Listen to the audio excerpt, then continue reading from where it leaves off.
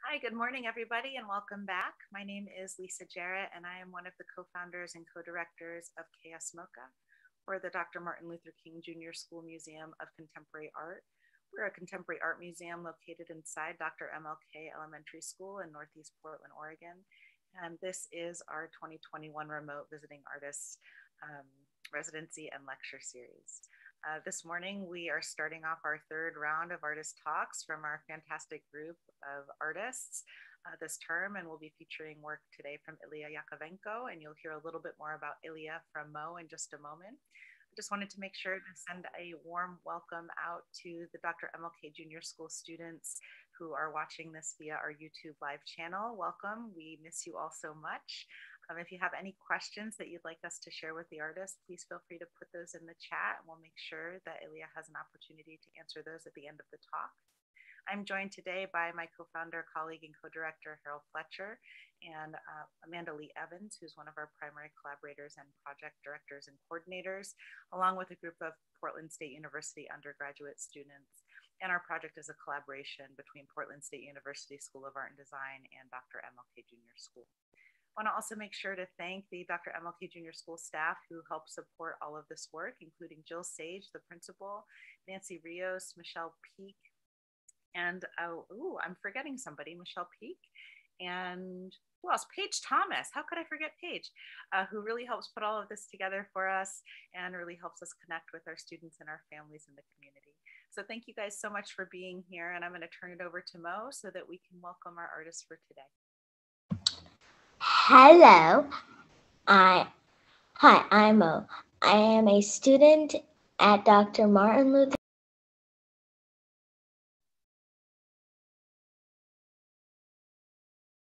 Hey Mo, I lost your sound. Can you unmute real quick? Sorry, do you want me to start over? Yes, please. That would be great. Hi, I'm Mo. I go to I am a student at Dr. Martin Luther King Jr. School. I am an artist and the KS MoCA head photographer. I'll be introducing Illia Yakovenko today. This is his third talk this school year. Congratulations! We are excited to learn more new things about his art. I am too. Illia is a cultural worker, artist, curator, poet, spectator, and cultural ambassador to Portland. That is a lot of jobs. Illia is also an MFA student in art and social practice at PSU, who came to study in the US from Ukraine. For KS MoCA, Illia is working with students on the in, International Acquisition Asian Committee to bring art from around the world to Dr. Martin Luther King Jr. For one, this sounds cool. Um, Illia spent his childhood in Mariupol, eastern Ukraine. This region is currently dealing with war. I am very sorry. To heal. To heal, imagine, and build a more equi- equitable inclusive and safe future, Illia is learning to explore history, memories, cultures, and identities with art. That is a lot of studying. Illia likes to make art projects with other people. That is awesome. Thank you for being here today at KS MoCA. Welcome, Illia. Thank you. Thank you, Mo, uh, Lisa. By the way, KS. Oh. Yeah, thank you, thank you, thank you, thank you all. Uh, I'm very happy to be here. I'm very happy to see you. Thank you, Lisa, Amanda, Mo, Harrell, and KS MoCA for uh, having me here.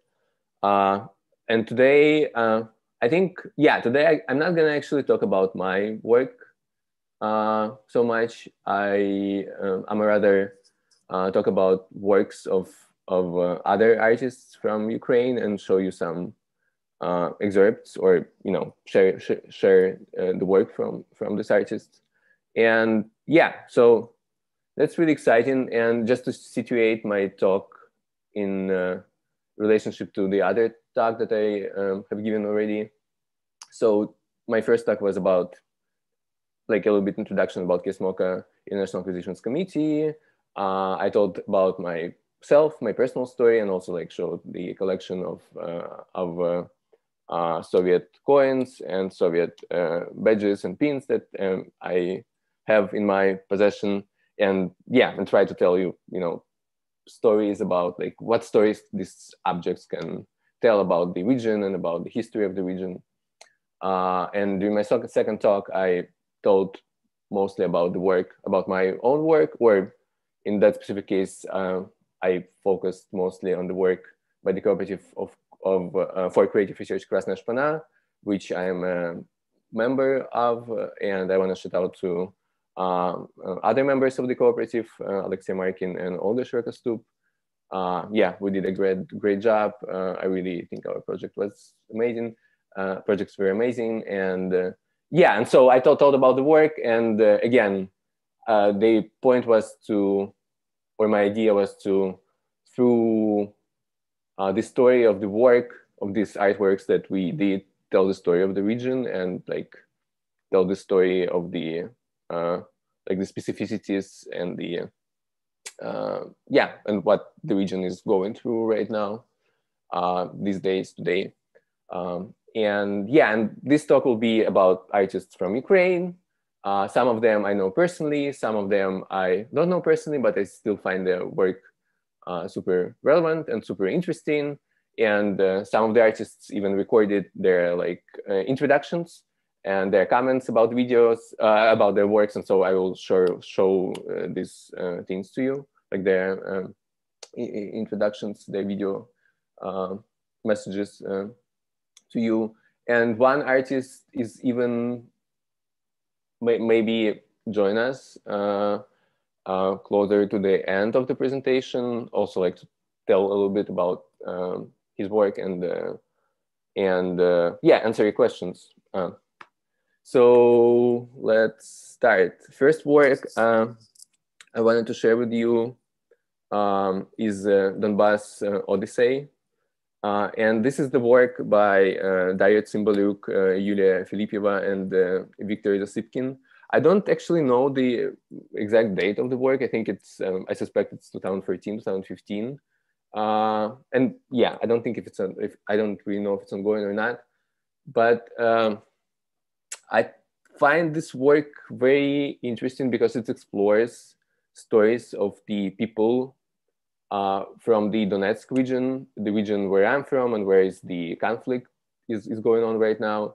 And so it's specifically like the artists they which they kind of met with people who were internally displaced by the war and right now are living you know as uh, refugees basically internally displaced people in the territories that are controlled by ukrainian government. And so they had interviewed with people and um, created mind maps uh, of the places where the people are from. And i will show you the video by uh, uh, Daria Cymbaluk, her, uh, her video um, message to us all. Uh, and yeah, she will introduce uh, the work a little bit to talk about the work.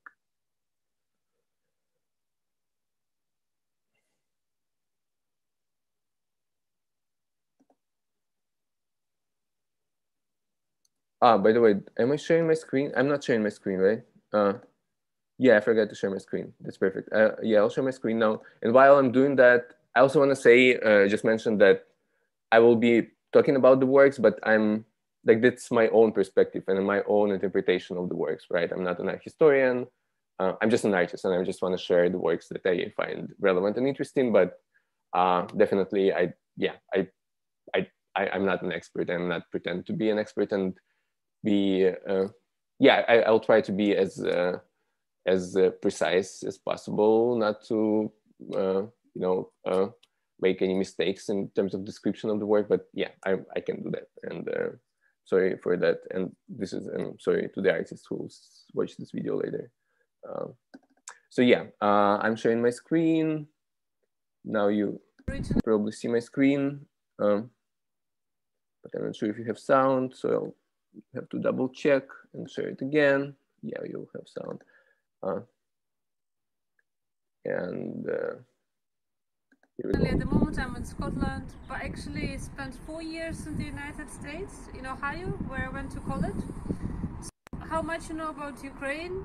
You probably heard in the news, and unfortunately, in 2014, um, a war broke out and it's still ongoing. And there were lots of people moving from the conflict areas. They were, they were fleeing to save their lives. And so I was in Ukraine at that moment, and together with two colleagues, Yulia Filipieva and Viktor Zasypkin, we started this project called Donbass Odyssey. You probably heard of Homer and the famous Odyssey he wrote. So the Odyssey as a journey, as a kind of long journey, this um, internally displaced people, migrants who were, were, undertaken to go to other cities. And Donbass is the name of the, of the region where they were migrating from. And so what we wanted to do is to actually just talk to people about their cities, uh, that they left, the, you know, the memories of hometowns.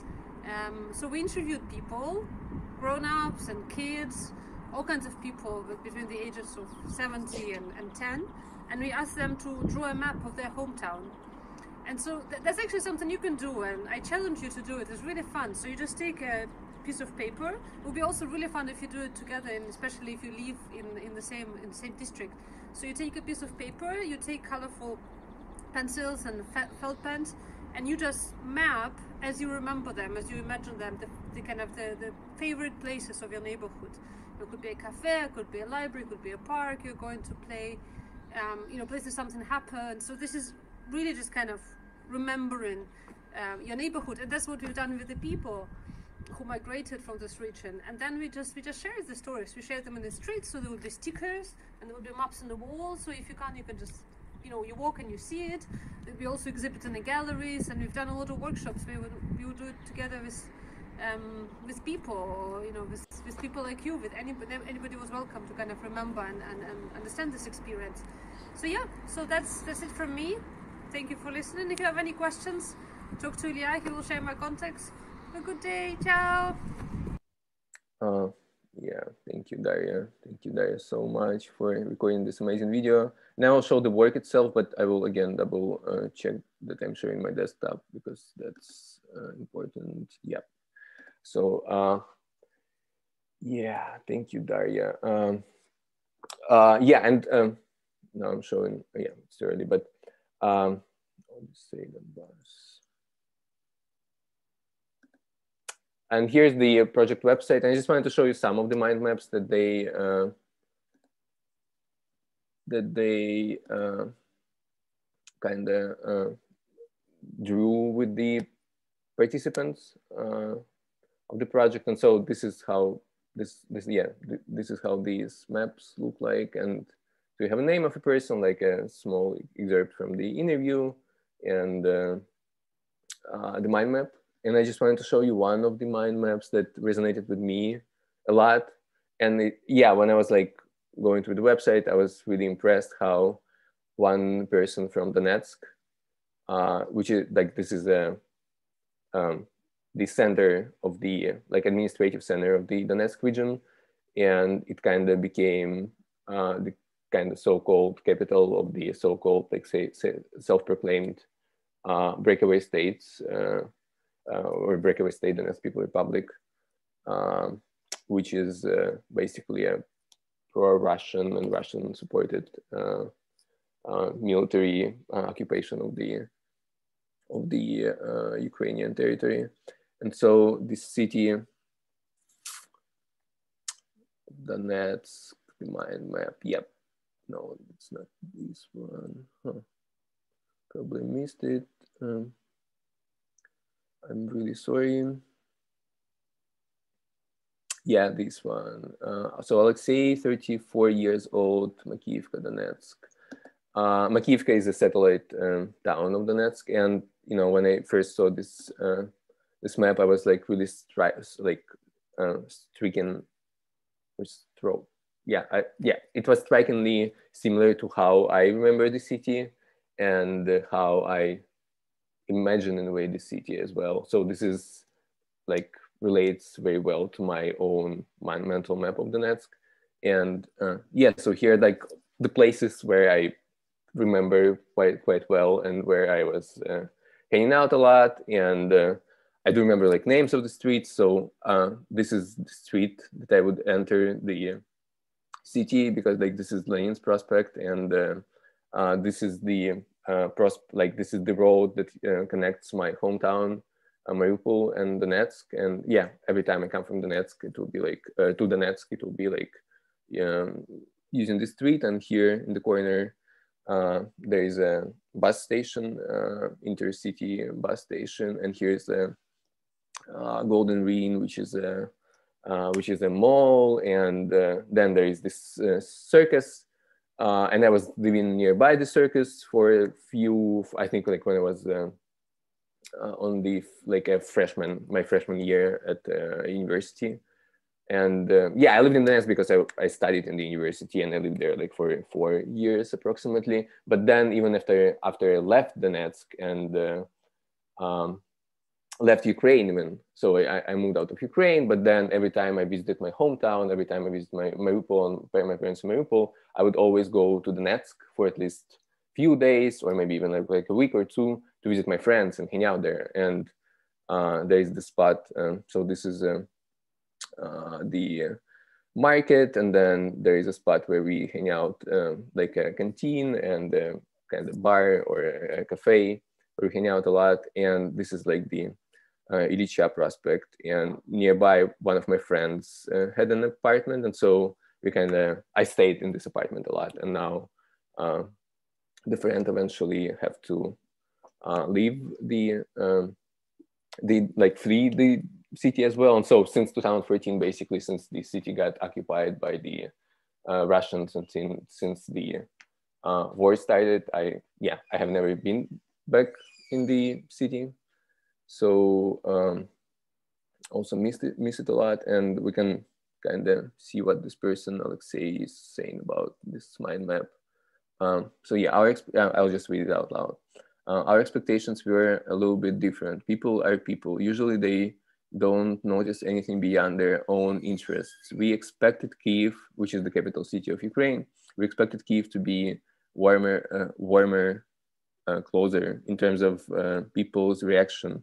But it happened to be the other way. And until today, I meet people who live in their own absolutely different reality if you go beyond their understanding of a situation I was witnessing there, in the best case, they stop talking. In the worst case, begin to over persuade you that everything is not the way you think it is. Reaction could be either aggressive, indifferent, or a person tries to avoid the dialogue in general. And uh, so, yeah, it's basically a conversation about the person's, uh, like the Alexei's experience of being an internally displaced person in a way. And so this is what the person experienced while they are uh, in the territories that are um, controlled by Ukrainian government, specifically in Kiev. But yeah, so the sense of frustration, the sense of people not understanding like them and what does it mean to be an internally displaced person and um, uh, lose your place like where you grew up or your home uh, in a way, not being able to go back uh, because of uh, a number of reasons. And I just wanted as a reference, uh, yeah, just tell, like as Darius said, uh, it's very interesting how, in a way, everyone can do a similar thing.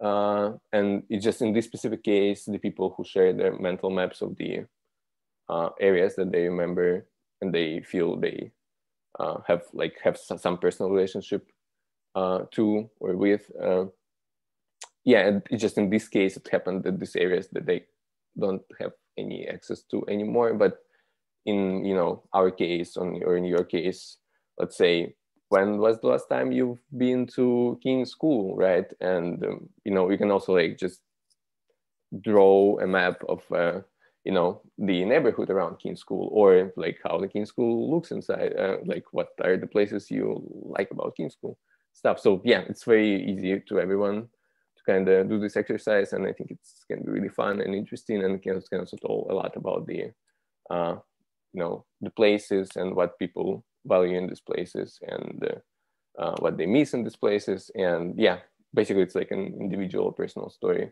of a person about the place they, they, uh, they, they have personal connections to. Uh, and uh, just a small reference I wanted to show you again like this is like part of my work but this is was the last time when I went to Donetsk. It was in 2014, and back then already like the city administration uh, was uh, occupied by the protesters, pro-Russian protesters, so you see kind of Russian flags and stuff. And yeah, this was apparently like the last picture that I've ever taken in the city. And I remember like there was a moment when I was like still at my friend's place and I had like a train or something to leave, leave the city like in in two days because yeah, I was like in transit basically. Uh, and then my mother called me and like she was like, "So you're in Donetsk, like go, you know, you have to get out of there because you know like the war will start. So yeah, just get out of there like immediate as soon as you can." And I was like, "Oh, whatever, I'll just you know hang out for the couple more days." Uh, and then the other person, uh, uh Peter Manovsky, who will join us, I do remember maybe on this same exact day when I kind of ran into him and he was like shooting a video or like a film and he was like going inside the building actually because like he was like kind of as a documentary filmmaker he was like trying to capture what's going on inside and yeah just um, a reference uh, uh, and uh, now i'm gonna move to another work uh, by Alevtina Kakhidze and she is a great artist who lives uh, in in Kiev or not even in Kiev but in a smaller village or town uh, near Kiev. And uh, I don't know her personally, but I really uh, love her work. And this work's name, um, like the, the title of the work is uh, Strawberry Andre- uh, which is uh, which is a story or work about or maybe in collaboration or about her mother.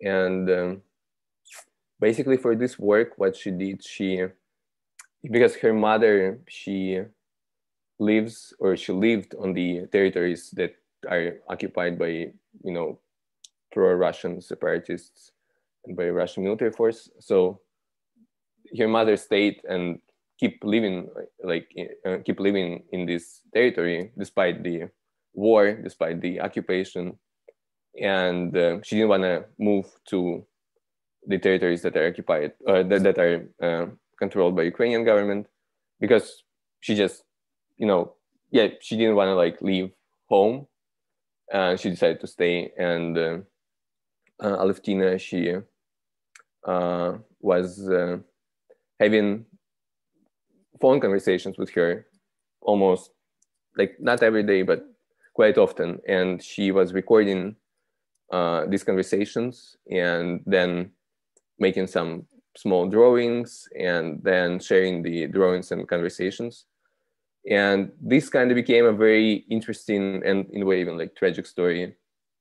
Interesting because she was like having this, you know, everyday conversations with her mother about like, oh, so what are you doing? Like, uh, you know, how the things are going, how the weather is uh, uh, in, uh, uh, yeah, like how the weather is or how like did you already uh, planted the seeds that you wanted to plant in your garden and stuff uh, but then yeah on the other hand this topic of war of war and like of you know you know like military uh, armed clashes was also coming up and uh, yeah and eventually uh, her mother died when she was passing through the check checkpoint uh, from from the occupied territory to Ukraine, uh, because like many internally displaced people, like many older people, they have to do that in order to keep getting their like retirement payments. Because uh, yeah, this is something that Ukraine kind of, uh, I don't know, like this is a mandatory requirement. So if if you want to get like keep getting your uh, retirement payments, like your pension, um, you have to cross the uh, the demarcation line, the territory to get to Ukraine to kind of check in that you are still, yeah, that you're still kind of, I don't know, alive or that you are kind of, uh, yeah, have whatever. I mean, it's complicated. It's a very weird and you know problematic policy, but it exists, and so many uh, uh, senior people have to uh, seniors have to cross the border back and forth uh, quite often. And yeah, and so it happened that uh, unfortunately uh, her mother died during the crossing and uh, uh, I will show you the video where Alevtina kind of shares the a little bit about her work and uh, uh, tells a story about of, of her work and of her mother.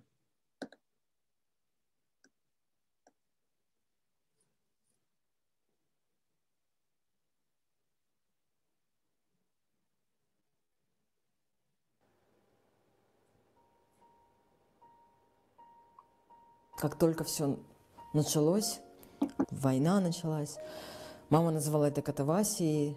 Для меня тогда появились непонятно почему российские флаги. Я тогда почувствовала, что мне нужно срочно про все, что там происходит, писать и рисовать то, что мне мама рассказывает.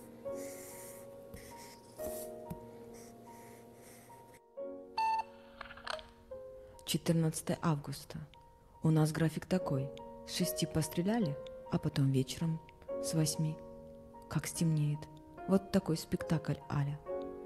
Я пошла молча и заплатила за коммунальные, а люди не платят. Мол, война, зачем? А я им говорю, насчитают вам пеню, будете потом знать. И не закрывают ничего, ни помидоры, ни варенье, нет настроения, говорят, а я закрываю. Думаю, придете ко мне зимой, когда война закончится. Я понимала, что я не могу о ней Uh, писать. yeah, and so just like as a brief introduction to the uh, kind of uh, nature of the work and uh, yeah, being you know still in touch with your family, even you know despite the war and despite the occupation and uh, yeah, feeling in a way you know disconnected also because it's yeah, it's just you know uh, some people are not so because of a number of reasons because they want to like risk uh, and security uh, and stuff. They don't want to like travel to the occupied territories uh, even though it technically can be possible but yeah it's all complicated. So yeah so you kind of feel disconnected with the family. But then i really love this work because uh, it tells it's kind of like hu- humanizes uh, and tells the personal stories of people who are who stayed on the uh, in the occupied territories and are not willing or not able to relocate uh, uh, to the territories that are controlled by the Ukrainian government, also because of a number of reasons. But then you know you still kind of know like that they can, yeah that the lives in a way continues uh, that they continue their lives, but it's also super challenging and uh, yeah just interesting to learn uh, uh, about like what's going on on these territories and uh, how people keep struggling or keep living on the occupied territories despite all the challenges. So there's that. I just checked the time, and unfortunately, and so I just checked the time, and it's ten thirty, and uh, hmm, I I'll check in the. um, list if my one of my guests joined already or not yet. Hmm, doesn't look that.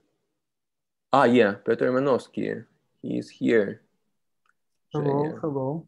Hey, uh, so yeah, Peter Manovsky is uh, uh, another artist. I will probably stop sharing my screen. Or no, at first I will show your work, like the excerpt from the uh, Baker uh, game, like Yeah, Pe- Pe- please. Baker game, and then we can, you know, you can tell about the work a little bit about the game. Uh, yeah. So first I will show show, the excerpt while I'm sharing the screen. Cool. Thanks you for coming. Thanks you for joining. I really appreciate that. Uh, okay, Becker.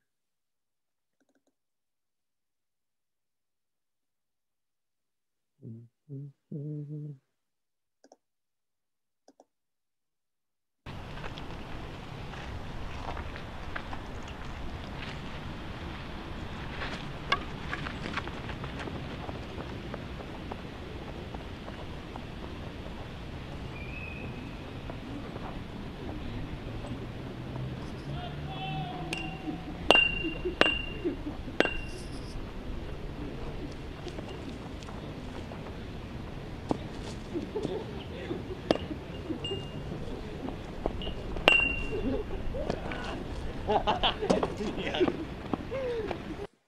Okay, so this was this small excerpt. Uh, I will stop sharing my screen and uh, yep, uh, Piotr. Uh, so uh, can you tell a little bit about the the work and about the game itself? Maybe a little bit about like what are the rules of the game and why uh, did you decide to, in a way, reproduce or recreate this game now? Because this work is relatively recent. I think we we kind of played the game in 2018 or something during your birthday and uh, yeah so why you decided to reproduce the game uh, what how does it relate to your personal or individual story what did it mean to you to play this game when you were a child uh, yeah. Hello, everyone. I could see some pictures of you. Uh, and Illia tell me that yes, you are interested in art. I, uh, I'm now in Kiev, it's dark. Uh, and yeah, I do some art projects, mostly with connected with video. Have done few films. Uh, recently, there was one on e-flux, uh, and most of them are connected with uh, with a war.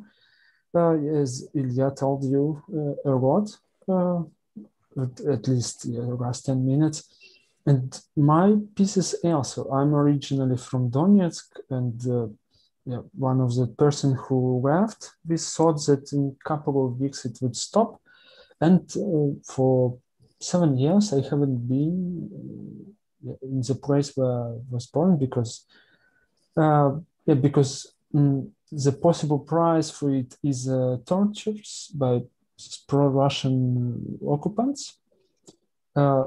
And in, in my works i try to to research what's yeah, this this situation where you uh, miss something miss your home uh, and what does war mean and what Donetsk, yeah, some cultural aspects of it.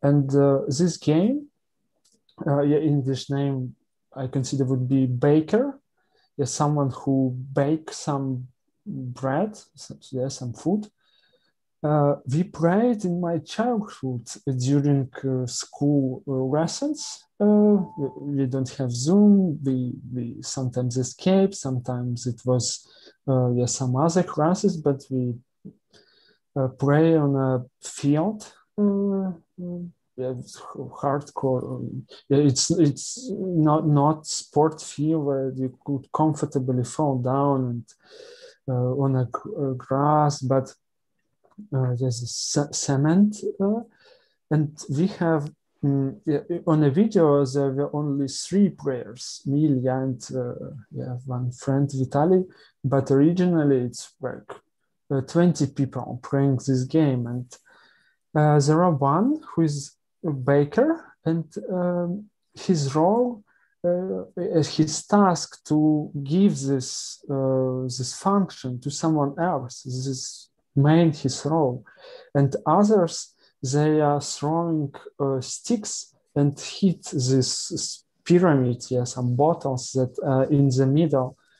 Mm, it's a little bit brutal game, uh, but uh, yeah, so you could hit some of your friends, uh, but it provides some yeah, adrenaline, uh, young uh, teenagers play and little bit hit each other.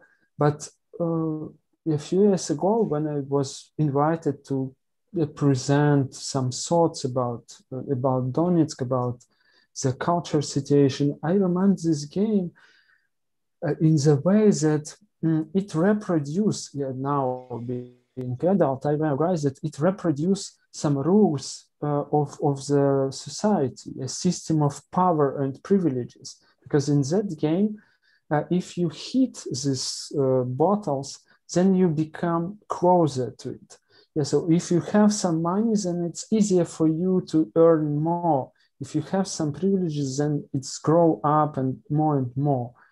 Yeah, so in my opinion, uh, in, yeah, normally it should be as in sport if you if you have some achievements then you should have higher level uh, yeah, it should be this way. But in this game, uh, it's uh, this controversy that uh, correlates for me with uh, yeah, society principles that we have.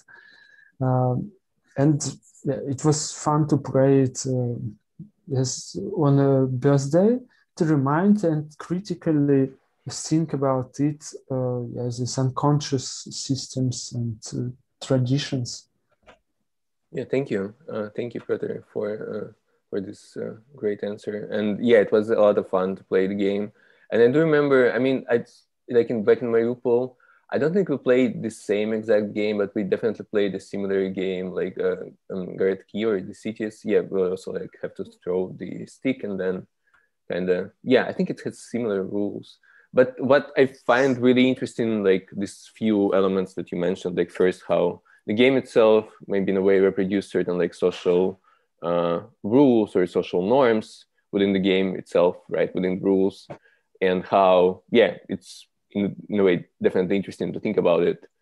Uh, and yeah, and like critically uh, question this uh, how the game, how games shape our us uh, Uh, in our childhood, and what are the uh, yeah how these rules of these games actually in a way create this uh, what they're supposed to or what they kind of supposed to create as like as uh, as you know grown up people like what um, ideals or values we learn from playing these games on the one hand. But on the other hand what i find really interesting is also like this cultural specificity to the region and to the area and then the nature of the game itself how you know simple you can just take sticks you can have a bottle and i mean i think it's actually like that's very interesting but in a way it's a simplified version of uh, Gorodki because for Gorodki you have to build you know some things and sometimes people would have to carve it or uh, and, and yeah mm-hmm. and you don't hit each other in in Gorodki yeah, you right. don't uh, yeah, fight right right but also like the idea is that. You just have a bottle right it's easy you know every kind of person basically can get an access to the bottle and then to a stick and then you know play the game and so it also kind of represents a lot like the times when we were growing up in the region because I also like remember we were like playing very simple games. We didn't have like a lot of resources, a lot of toys, a lot of things, you know, to uh, buy. You know, we just like you just come up with things uh, almost like uh, yeah, just whatever you have uh, around you uh, that you don't have to pay for. Just you know take these things and then play games and then still have fun. Uh, yeah. Cool. Yes, uh, and thank, thank you for the game and yeah, for inviting to, to few say a few words about it. Mm-hmm. For, cool. So uh, students. now we can have five five minutes left. Uh, five minutes left before the Q and A session. I can still show you a short video by another uh, artist, Pavlo Khailo, uh, from uh, he's from Luhansk originally, but now he also lives in Kiev, and he made this other video about uh, about games actually, and about one game that becomes kind of popular in Ukraine right now, and it's called uh, it is called Jura, and you know, it gains popularity, but it's also like a very kind of patriotically oriented game. So it's like a military kind of game, and yeah, it's interesting. I'll show you the video, like just a, an excerpt from the uh, from the video. Uh, Peter, are you gonna leave or I do want to stay? Oh yeah, Peter left. uh, yeah, so I'll show you the excerpt from the uh, from the video, and then uh, we can have a Q and A or a conversation. So yeah, just give me a second. I will share my screen again. I will share my screen again. Uh, desktop share. Uh, and this is the work. Uh, the title of the work, Structures of Care, uh, the year 2018. Um, yeah, and so it's like a 10 minute work, but I'll just show you a few excerpts. Uh. Дев'ять! Дев'ять! Вісім! Сім! Шість! П'ять! Чотири!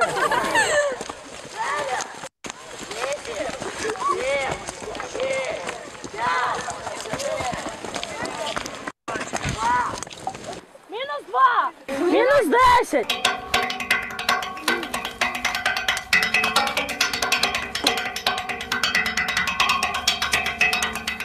Дисципліна наш порядок! Дисципліна наш порядок!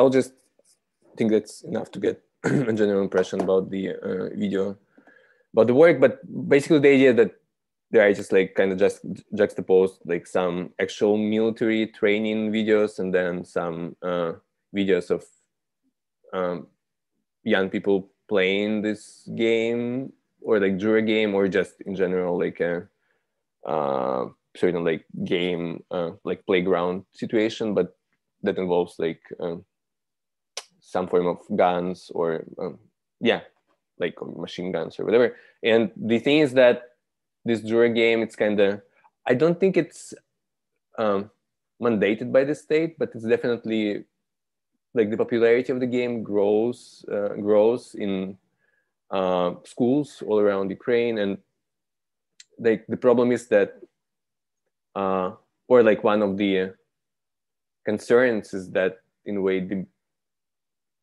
how the Ukrainian society is getting militarized in general and how uh, this kind of games influence young people, right? Like games that in a way encourage them to or like train them to uh, become like or to admire some form of like military uh, um, I don't know military uh, types of engagement with with the world and know military uh, type like form of play. Uh, so yeah that's uh, i find very important to like like very important to highlight like this process that is happening in the ukrainian society this development that's happening in ukrainian society and yeah there is like definitely a huge or not even a huge i think there is not enough conversation actually about it right now happening in ukraine but definitely it's something worth uh, attention and worth uh, uh, to be discussed and uh, questioned. Yeah i think that's it. I'm uh, i ran um, i ran uh, out of time and yeah thank you for your attention. I'm happy to answer your questions. Um, yeah, thanks. Thank you, Illia, so much. So lovely to hear from um, artists from Ukraine and to see what different practices look like.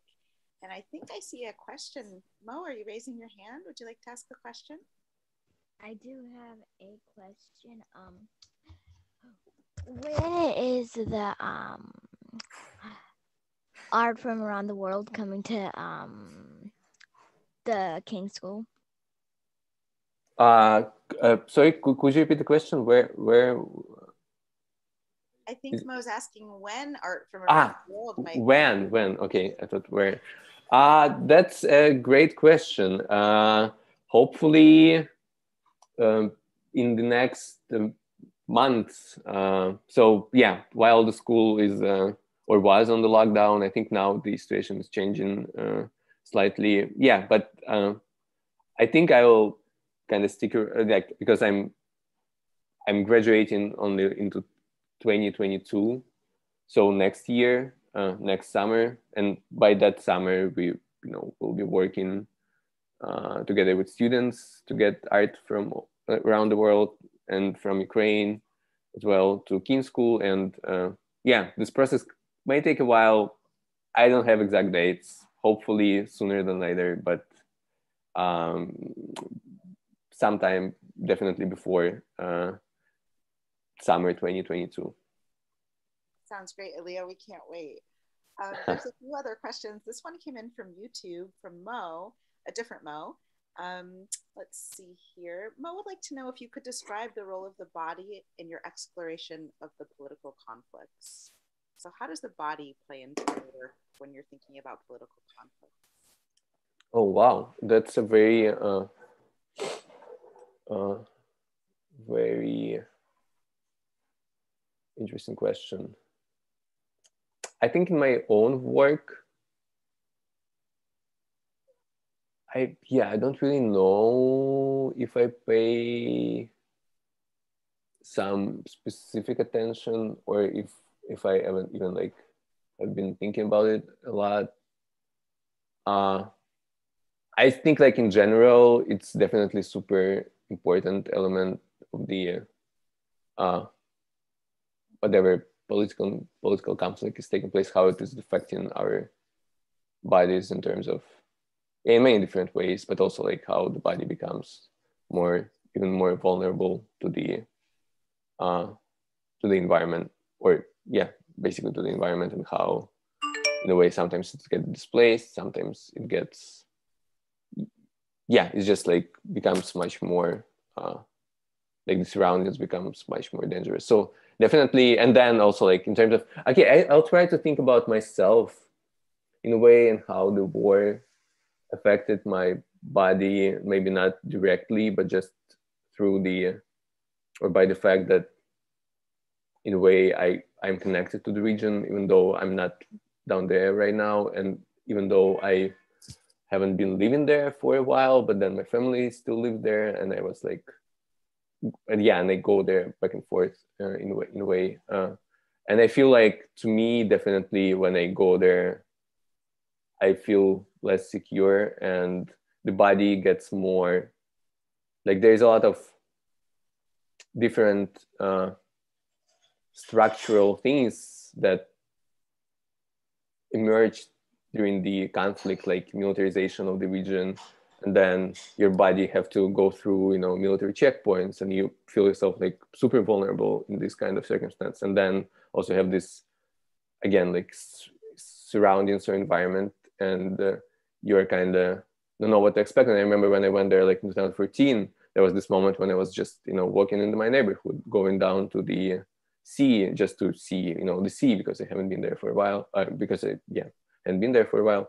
And then I'm like moving down to the sea, and then I hear like shelling, like bombing happening, you know, somewhere far away probably. But then I hear the sound that, you know, basically like rocket launchers or something.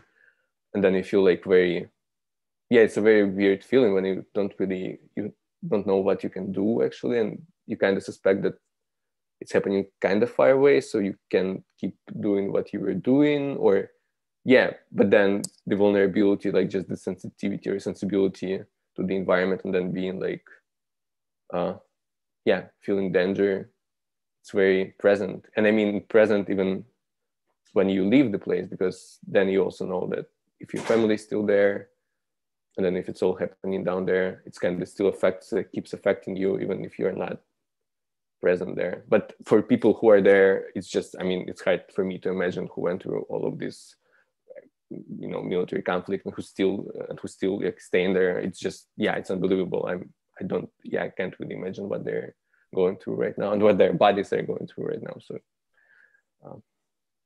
thank you illia and mo thank you for a great question there um, Tenzin is wondering how does the art- artistic practice of others, both from your region and beyond it, impact or influence your own work?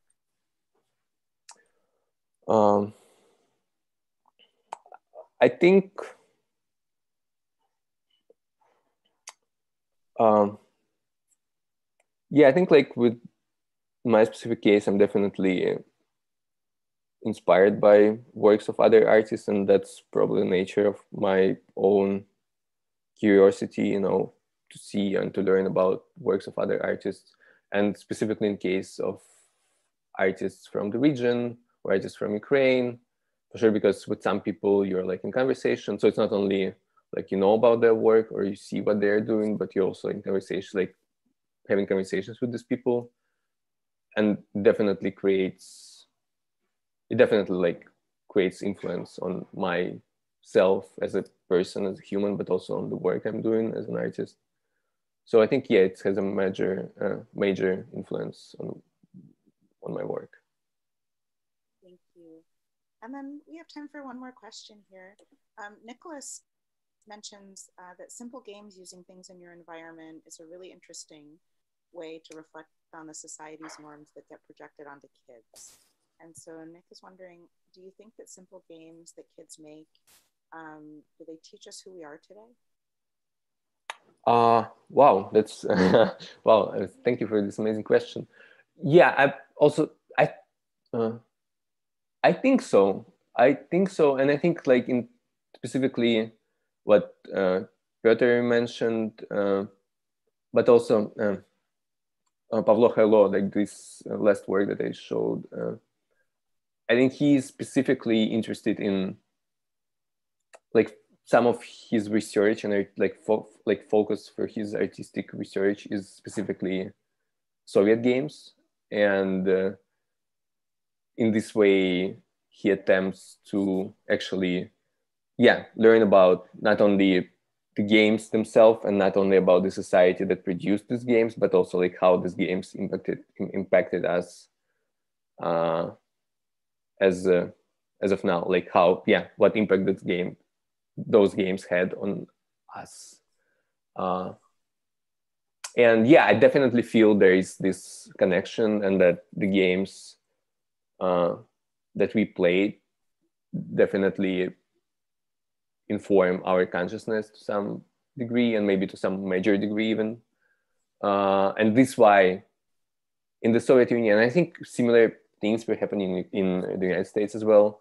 Like this is why in the soviet union the state was so eager to design games even like you know because sometimes you had even in your question you mentioned like oh so there are these games that uh, young people kind of came up with themselves, right? But then the state also, in, at least in the Soviet Union, the state was trying to have this monopoly in a way to produce games, to produce rules for the games, and to try to distribute these games. So people would play all over the place similar games, but they will, uh, in a way, uh, convey certain values to the uh, young people, right? And in a way, they organized this group of of uh, uh, for children's that were pioneers. Like the name was literally pioneers, but this was young uh, kind of communists basically.